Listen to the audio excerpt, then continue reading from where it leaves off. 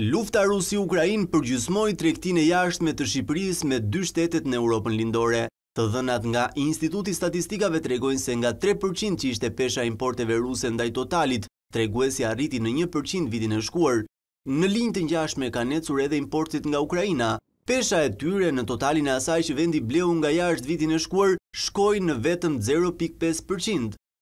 Këto treguesë na bëjnë ditur që trendi i së ardhmes mund të ketë një një themi përmbysje të të situatës që gjithmonë e më shumë për shkak të situatës ekonomike dhe nevojës së mallrave të lirë, mallrat kinezë, turq, për shkak të inflacionit atje gjithmonë e më të lira po bëhen, do themi zënë një pjesë gjithmonë e më të madhe në tregun tonë të shumicës dhe të pakicës. bashkë me deviacionet në gjeografinë e importeve si pasojë e konfliktit në lindje të Europës, me krizën e çmimeve nëpër këmbë, ka ndryshuar edhe profili i mallrave e shërbimeve më së shumti të importuar.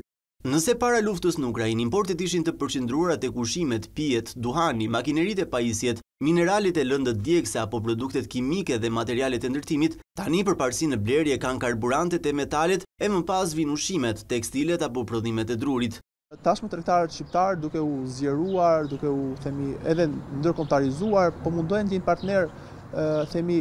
më larg, por që normalisht i sigurojnë ato përfitueshmërinë ekonomike, pra minimizimin e kostove